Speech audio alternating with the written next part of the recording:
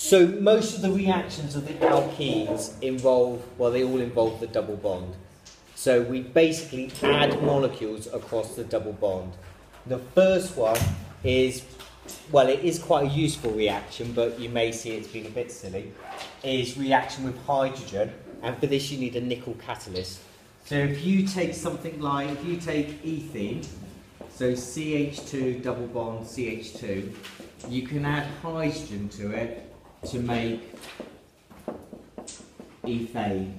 So you, you start with ethene, you add hydrogen, and you remove the double bond. Um, does anybody know why we will use that reaction sometimes? To remove double bonds. To hydrogenate oils. Yeah, that's right. It's hydrogenation, so sometimes it's used to turn unsaturated fats um, into more saturated fats. So remove those double bonds, which make them um, become solid, um, which means we can use them for margarine and so on. Um, so that is one of the most, apart from that, you would say, why on earth would you take a lovely molecule like uh, with a double bond and make it into an alkane, which doesn't really do a lot of chemistry. The other one is one that you would have come across from GCSE, is reaction with halogens, and you probably did it with bromine. No, we didn't do that. Oh, and you add bromine across. That's right. So you make this molecule. Yeah, we did it. I'm sure you would have done this one. Bromine, of course, is an orange colour. This is colourless. What would this molecule be called? Uh, dibromo.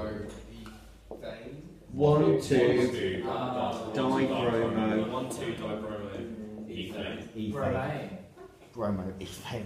Okay, so that is colourless. That is orange. So you see o- uh, orange to colourless, and that is the test for a double bond.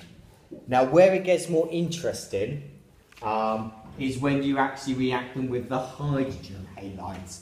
So we're going to look now, the simplest one, of course. So we do reaction with, let's do it with HBr. And we're going to look at this reaction in more detail. So, first one, nice and easy. I start with ethene, I add HBr. The HBr now just adds across the double bond, like so. So H goes onto one carbon and Br goes to the other carbon. This, of course, would be just called bromoethane. Do I need to say one bromoethane? No. No, because I've only, it's obvious it's got to be on. Okay, however, if I started with a more interesting molecule,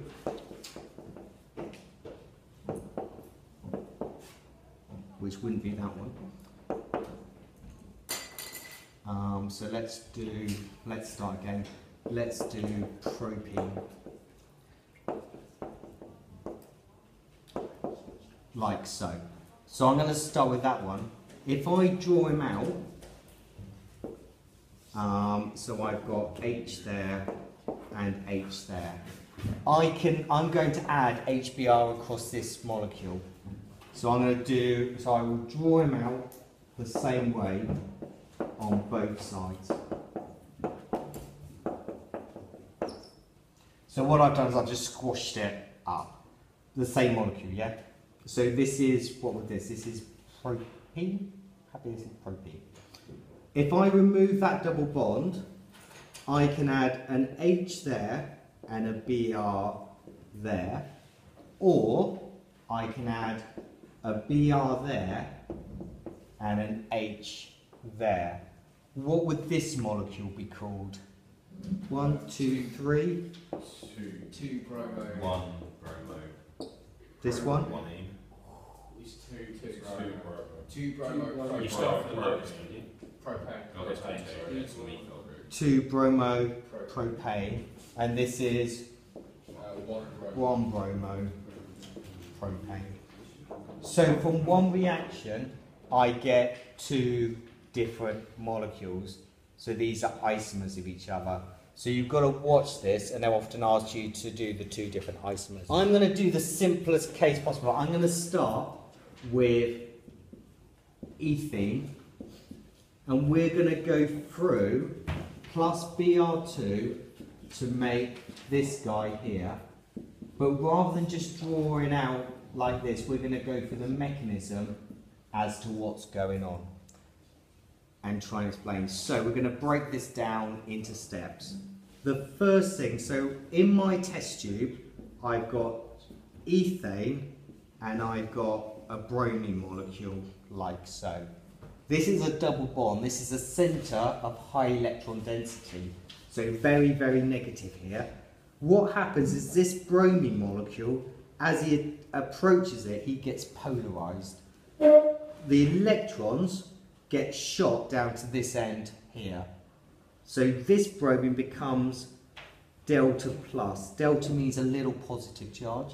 And this bromine becomes delta minus. You know you've looked at polar bonds Yeah. before? This is an induced dipole. Is that because of the double bond? Yeah, it's pushing those electrons down because this is up. So we use curly arrows to show the movement of two electrons. So what happens is the electrons, this, these two electrons from this bit of the double bond, come down and they attach themselves to that bromine. That arrow is showing electrons moving. The electrons come out of this bond and go over here and attach themselves to that bromine. Can bromine have more than one bond? Not going to be happy. So what he does is he breaks that bond, so the electrons in that bond go over and sit on that bromine atom there. So that's the first step, and that results in this. So that's just those two. The bromine is now attached to that carbon. I've made that bond, but I've only now got a single bond here. So I've got HH and Br. I've taken electrons away from this carbon, so he has now got a positive charge on him. And I've given electrons to that bromine, so he's got a negative charge on him, like so. So what do you think is going to be the next step? Those just two dots show a lone pair. The final step, I've got a negative bromide ion and a positive carbon. These two are going to get together. So I'm going to show, you, this isn't showing the movement of an atom, this is showing the movement of electrons. They go like so, and form a bond there to give me my product there. So that is the mechanism. It's called electrophilic addition. Addition because I'm adding a molecule across a double bond. Electrophilic, this is called an electrophile, is something which is attracted to a centre of negative charge. Electro likes ele- electro, think electrons. Phile means love, so it loves electrons. It's attracted to those electrons.